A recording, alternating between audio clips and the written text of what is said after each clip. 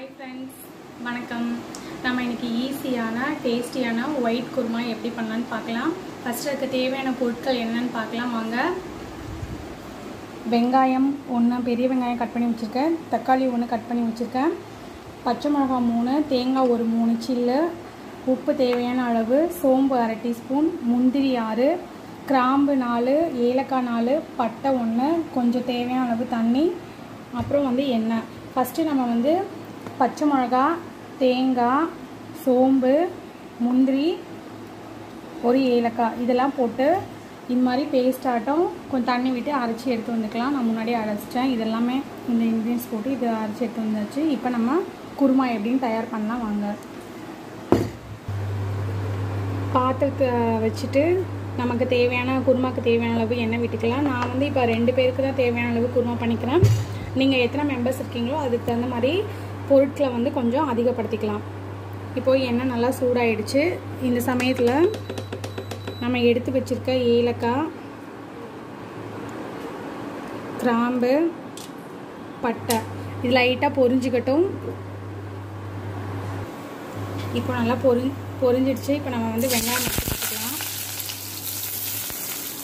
வெங்காயம் வதங்கணுன்றதுக்காக இப்போயே இந்த டிஷ்ஷுக்கு தேவையான உப்பு போட்டுக்கலாம். இது நல்லா பச்சை வாசம் போகிற அளவு ரெண்டு நிமிஷம் நல்லா வதங்கட்டும். இப்போ வெங்காயம் நல்லா வதங்கிடுச்சு. நம்ம எடுத்து வச்சுருக்க ஒரு தக்காளி போட்டுக்கலாம். இந்த டிஷ்க்கு தக்காளி வந்து கம்மியாக தான் போடணும். இந்த தக்காளியும் நல்லா ரெண்டு நிமிஷம் வரைக்கும் பச்சை வாசம் போகிற வரைக்கும் நல்லா வதக்கிக்கலாம். தக்காளி நல்லா வதங்கிட்டு இந்த டைமில் நம்ம வந்து எடுத்து வச்சுக்க தேங்காய் ஆட் பண்ணிக்கலாம். தேங்காய் கூடவே நமக்கு இந்த டிஷ்ஷுக்கு எவ்வளோ திக்காக வேணுமோ அந்தளவுக்கு மட்டும் தண்ணி ஊற்றிக்கலாம் நிறைய இதுக்கு தண்ணி தேவைப்படாது. ஏன்னா இது வந்து ஒரு கொஞ்சம் கெட்டியான கிரேவியாக இருந்தால் தான் நல்லாயிருக்கும் சாப்பிட்றதுக்கு. ஃபஸ்ட்டு இது ஒரு ஒரு நிமிஷம் கிளறிட்டு அதுக்கப்புறம் தண்ணி விட்டுக்கலாம்.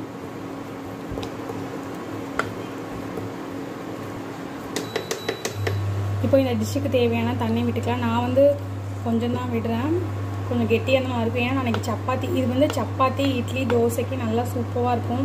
நல்லா ஸ்மெல்லே வந்து நல்லா ஃப்ளேவராக நல்லாயிருக்கும் கண்டிப்பாக எல்லாருக்குமே பிடிக்கும் இந்த குருமா. நீங்கள் கண்டிப்பாக செஞ்சு பாருங்கள் கலரும் நல்லாயிருக்கும் பார்க்க வாசம் டேஸ்ட்டு எல்லாமே இது நல்லாயிருக்கும் நல்லா ரிச்சு குருமா. ஆனால் வந்து ஈஸி மெத்தடு காய்கறியே இல்லைனா டக்குன்னு தேங்காய் வச்சு அரைச்சி ஊற்றிட்டு செஞ்சிடலாம். முந்திரி பருப்பு இல்லைனா கூட பிரச்சனை இல்லை. நீங்கள் தேங்காய் சோம்பு பச்சை மிளகா ஏலக்காய் மட்டுமே அரைச்சி ஊற்றிக்கலாம் முந்திரி இருந்தால் போடுங்க. இல்லைனா அது ஆப்ஷனல் தான்.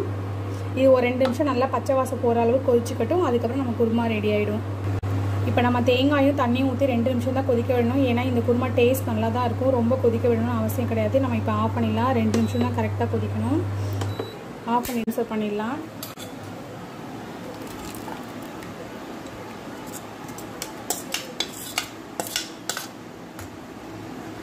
இப்போ இதுக்கு வந்து கார்னிஷிங்க்கு மேலே வந்து கொத்தமல்லி போட்டோன்னா நமக்கு டேஸ்டியான குருமா ரெடி சாப்பிட்றதுக்கு.